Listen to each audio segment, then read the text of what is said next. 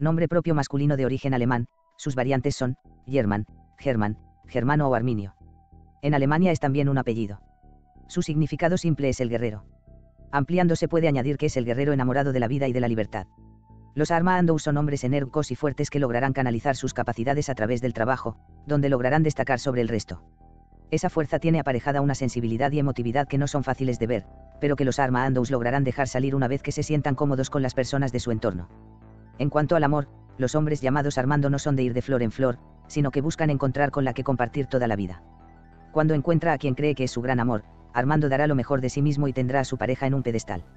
Entre los Armandos célebres se encuentran el exfutbolista argentino Diego Armando Maradona y el cantante Pitbull, cuyo nombre real es Armando Cristian Pérez.